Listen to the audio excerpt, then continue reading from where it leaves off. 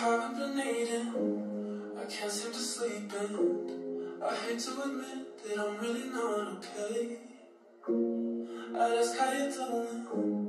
but you're probably happy, and if that's the case, I did this so myself,